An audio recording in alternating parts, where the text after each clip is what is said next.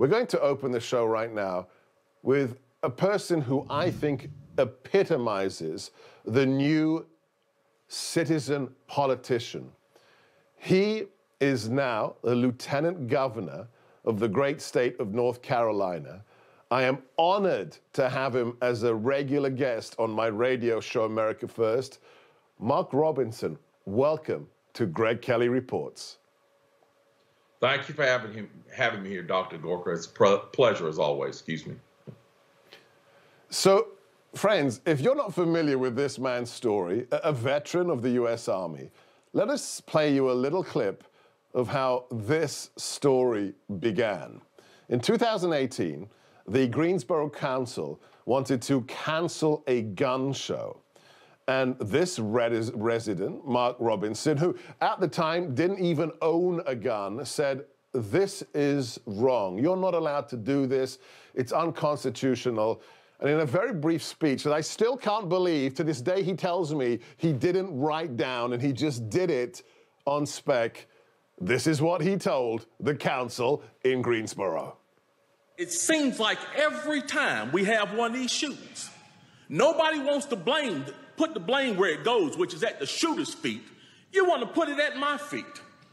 You want to turn around and restrict my right, constitutional right that's spelled out in black and white you want to restrict my right to buy a firearm and protect myself from some of the very people you're talking about in here tonight. It's ridiculous. If you haven't seen the whole video after the show, late at night, you've got to watch it. It's incredible. And that went viral, and now he's the lieutenant governor. Um, Mark Robinson, we'll talk about the Second Amendment uh, momentarily, but I heard through the grapevine, through my wife who follows critical race theory at the Heritage Foundation, that you have declared war on critical race theory and you understand its political origins. Why have you picked this fight and why is CRT so un American?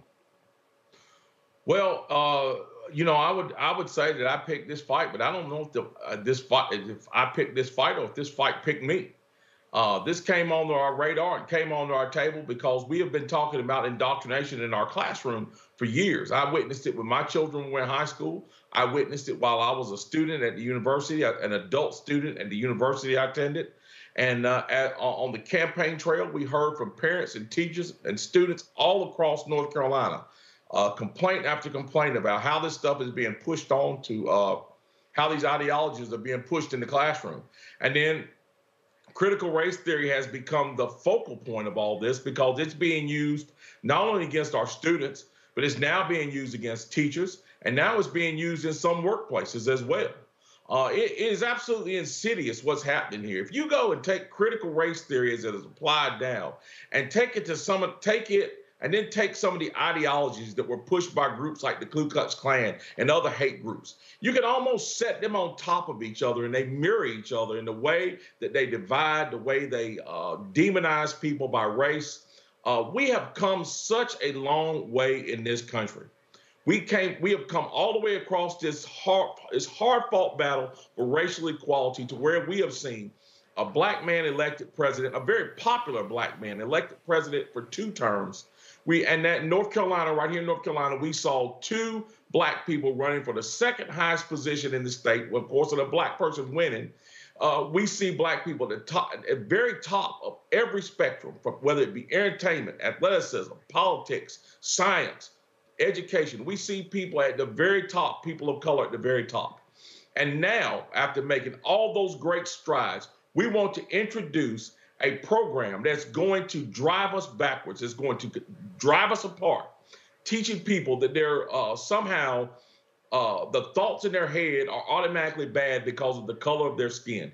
It is absolutely ridiculous. And it's being driven by Marxists who want to tear this country apart for the purposes of tearing it down to rebuild it in their image. It's not just ridiculous, it's outrageous. You yourself, as a black American, have been compared to the Ku Klux Klan in recent cartoons written by Democrats. That's how desperate they are.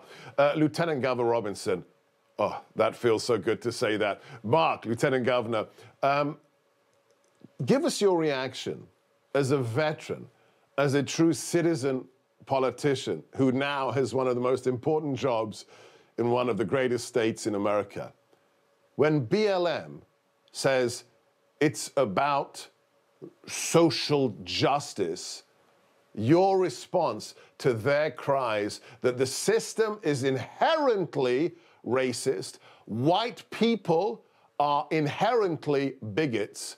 And when they say on their webpage, one of our goals is to dismantle traditional nuclear families, what kind of social justice are they preaching, Lieutenant Governor Robinson?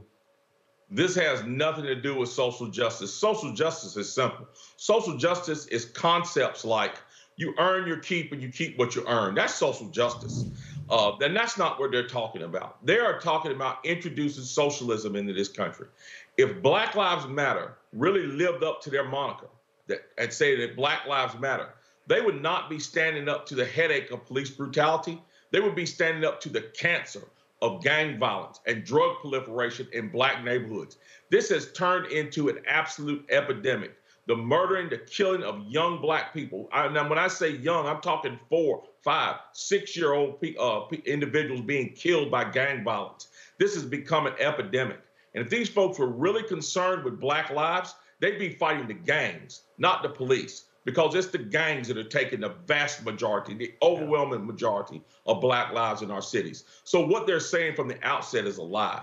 And they've already identified themselves, which is a good thing because conservatives like myself, we've been saying it for years and now they're proving it. It truly is appalling. You look at the figures 6,000 black Americans killed by their fellow black brothers every year. That's where the problem truly lies, and that's not white supremacy. We're, we're almost out of time. I didn't get to talk to you about what's happening on Capitol Hill when it comes to the ATF and Biden's nominee, but I have to, we'll get you on my show, the Gorka Reality Check on Sunday. Um, uh, Mark, I have to ask you, you've got 30 seconds left. Back then, you weren't a gun owner. You stood up for the Second Amendment. You're now the Lieutenant Governor of North Carolina. Have you bought a gun since then? America needs to know. Yeah, one or two. one or two. I, I love it. We. Yes, We've got to go to the range. We've got to go to the range next time. Absolutely. Follow this man, support this man. He, he is making America great again in his state. He is America first. God bless you. Lieutenant Governor Mark Robinson. Hey, I'm Rob Finnerty. Thanks for watching. If you enjoyed this video, please join the conversation in the comments below. Don't forget to subscribe, too. Hit the bell icon to be alerted to breaking news. And remember, there's a whole lot more on Newsmax TV, America's fastest growing cable news network. Newsmax TV, where real news for real people.